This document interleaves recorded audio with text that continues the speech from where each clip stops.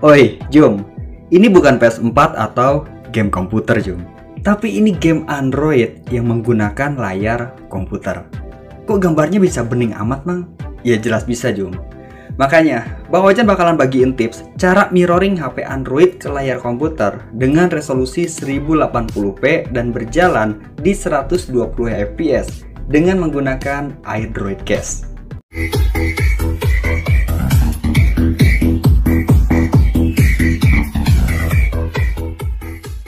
Oke Jum, gimana kabar kalian semua? Semoga sehat selalu dan dimudahkan istrinya Jum.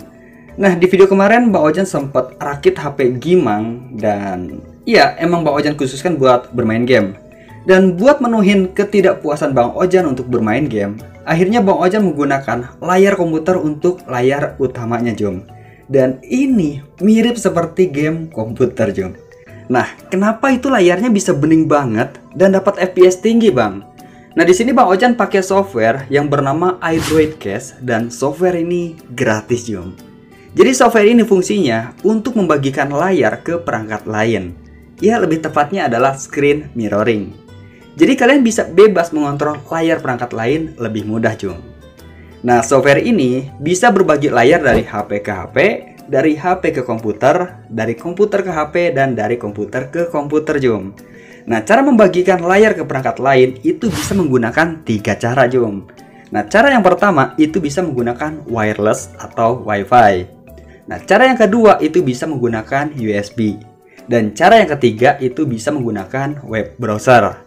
Nah, untuk AirPlay ini dikhususkan buat pengguna iPhone ya. Nah, jenis perangkat apa pun yang kalian gunakan, entah itu Android, iOS, Windows, atau macOS, bisa menggunakan software ini, Jom. Nah, kelebihan yang Bang Ojan suka dari software ini, yang pertama, sudah mendukung input dan output suara. Jadi di saat kalian persentase ataupun bermain game, bakalan kedengeran suaranya, Jom. Terus yang kedua adalah support audio, Jom.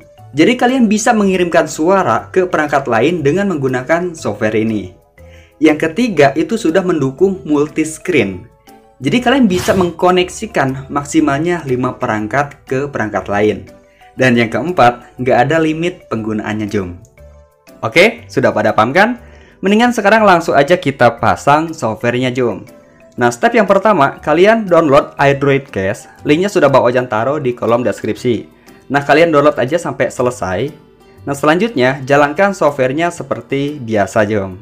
Head, jangan lupa untuk mengaktifkan data internet. Next, di HP Android kalian, kalian download juga aplikasi yang bernama iDroid Case. Linknya sudah bawa Ojan siapin juga di kolom deskripsi Jom. Nah sekarang kalian buka softwarenya dan tampilannya kayak gini Jom. Simple banget kan? Nah di sini ada tiga jenis koneksi yang bisa kalian pilih, mulai dari koneksi wireless, terus koneksi USB, dan koneksi case 2 atau via browser. Nah untuk koneksi AirPlay ini dikhususkan untuk pengguna iPhone ya. Tadi sudah Bang Ojan jelasin.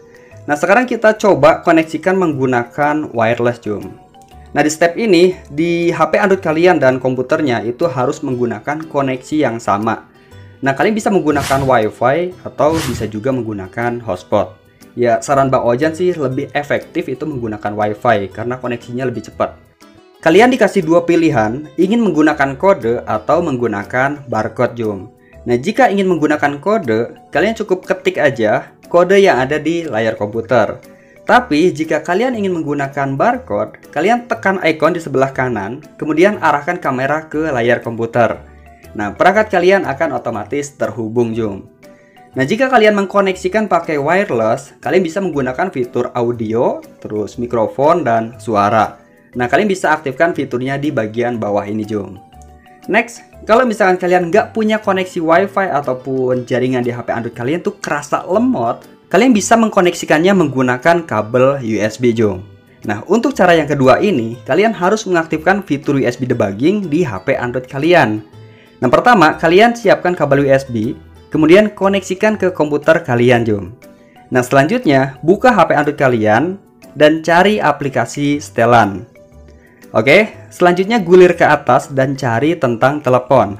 Nah, jika kalian menggunakan Android 12 ke bawah, tentang teleponnya itu ada di bagian bawah zoom. Nah, selanjutnya kalian cari build number dan tekan sebanyak 7 kali, mau 12 kali juga nggak apa-apa. sampai muncul notifikasi Anda sudah menjadi pengembang. Oke, next lagi. Nah, sekarang tekan kembali dan cari setelan tambahan. Kemudian pilih lanjutan dan klik opsi pengembang. Nah, jika kalian gulir sedikit ke bawah, kalian bakalan ngeliat fitur USB debugging. Nah, fitur itu harus kalian aktifkan. Oke, sekarang kita aktifkan. Dan jika sudah selesai, sekarang kalian koneksikan aja kabel USB ke HP Android kalian, jom. Nanti di bagian layar komputer bakalan terdeteksi nama HP Android kalian. Selanjutnya, tinggal koneksikan aja dan iDroid Case sudah bisa digunakan, jom. Nah, meski kalian nggak punya koneksi wireless, nggak punya kabel USB, kalian masih tetap bisa menggunakan software ini, Jum. Yaitu dengan Kesto. Gimana? Lengkap banget kan? Nah, mengkoneksikan menggunakan Kesto ini mirip banget dengan wireless ya. Caranya, kalian tekan aja Kesto yang ada di bagian pojok kanan, kemudian klik webcast.airdroid. Nanti bakalan muncul kode dan barcode. Nah, kalian arahkan aja kamera HP kalian ke layar komputer, Nanti iDroid Case itu akan otomatis berjalan dan screencast sudah siap digunakan jom. Nah kalau misalkan kalian ingin menghubungkan dari HP Android ke HP Android lagi, mungkin itu caranya agak berbeda.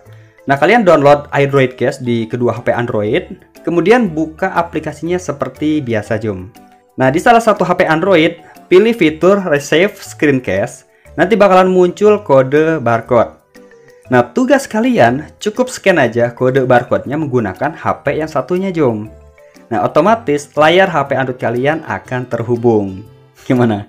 Gampang kan? Ya emang gampang, Bun. Oh iya, jika kalian ingin merubah resolusi, FPS, dan kualitas gambar, kalian bisa buka setelan di software iDroid Case-nya, kemudian kalian atur aja sesuai selera, Jom. Nah, software ini sudah mendukung resolusi 1080p dan framerate 120 fps. Nah, di bagian aplikasi iDroid Case juga itu sudah menyediakan setelan FPS.